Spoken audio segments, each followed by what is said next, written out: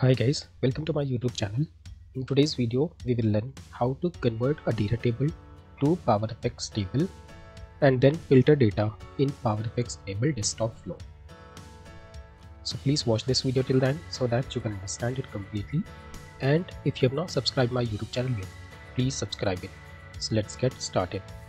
In today's video, we are going to work with this Excel file. Since my Excel file is already open, and from here I will choose attach to running Excel. Here I will choose the file name. Excel instance will be stored in the Excel instance variable. I will click on save. After this I will use this read from Excel worksheet to read the data. From the retrieve I will choose all available values from worksheet. In the advanced I will choose first line of range contains column names and then all the data will be stored in the excel data data table variable. I will click on save. Now i will use set variable to convert a data table to powerfx table. So here i will name it as powerfx table. And now i will use equals to then i will use this function which is table.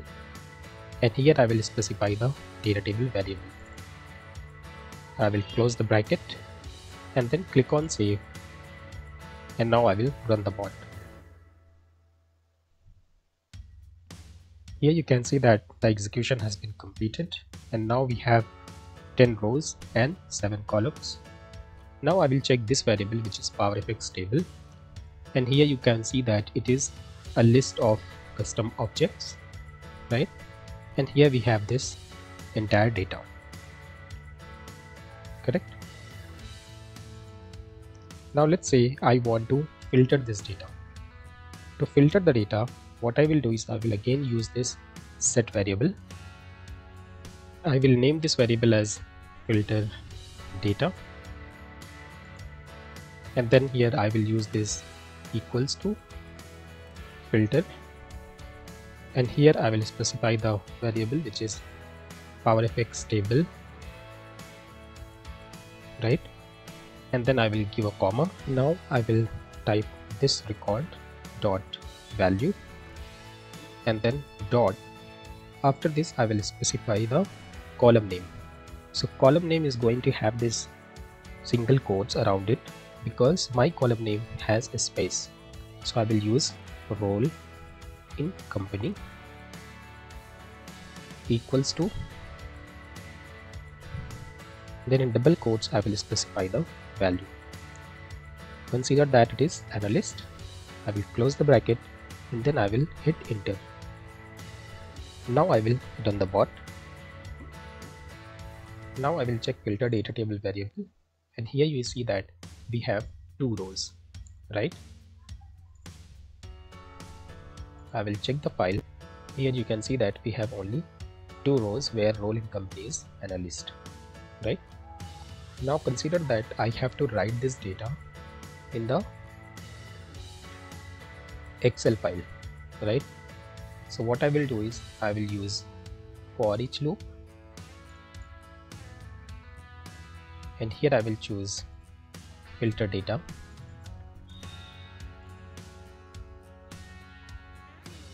And then I will go to Excel.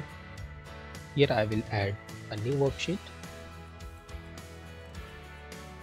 I will name it as new worksheet data. And the worksheet is going to be in the last of the existing worksheets. I will click on save.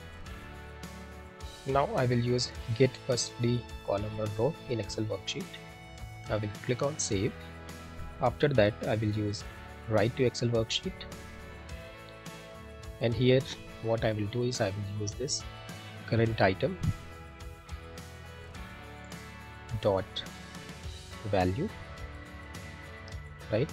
And here I will use first column and row is going to be first available row. So first d row minus 1 I will click on save. Now what I will do is I will just move this action out so that it does not add worksheet again and again right now I will run the bot. I will check the excel file. Now here you can see that it has written the data only once. So I will just delete this worksheet. Why that has happened? It's because we have used minus 1 so I will just remove it click on save and then I will run the bot here you can see that bot has written those two rows. Now we need to write the column right? So first of all I will right click on the sheet and delete it. Sheet has been deleted. In PowerFX enable desktop flow it is not possible to get the column names right? For example if I use this set variable right? And if I try to get the column names you will see here that Excel data is not giving any property right? That is because we are working in PowerFX enable desktop flow but there is a workaround right?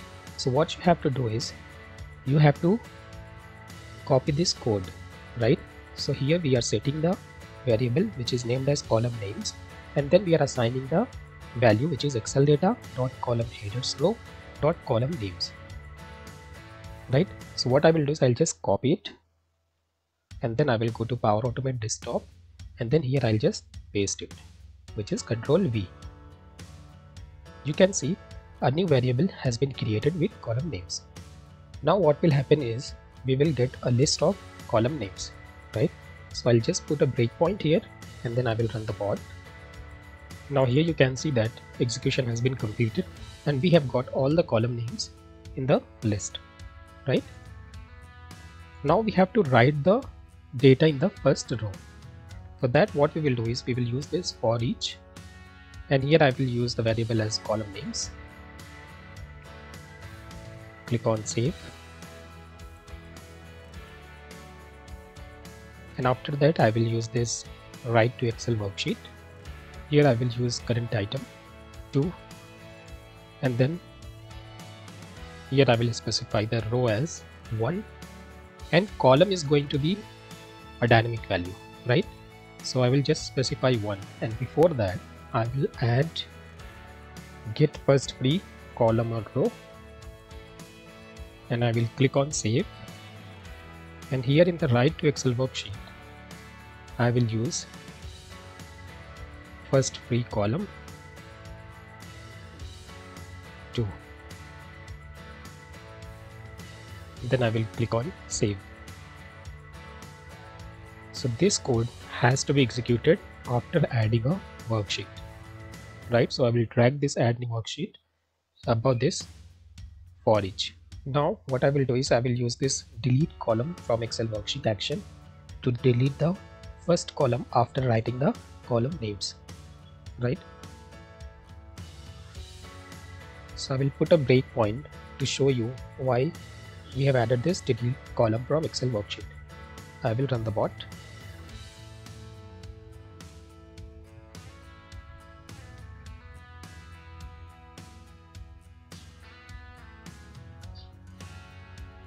Execution has reached to the breakpoint. Now I will check the excel file. And here you can see that we have this first column which is empty. And this is the column which we want to delete. Now I will click on run next action column has been deleted. I will check the excel file. Here you can see that that column has been deleted. Now I will click on run so that it can write all the rows.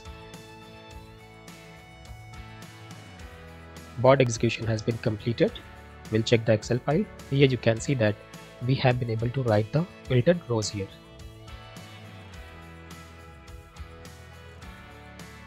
so this is how you can filter the data in PowerFX enable desktop flow using filter function.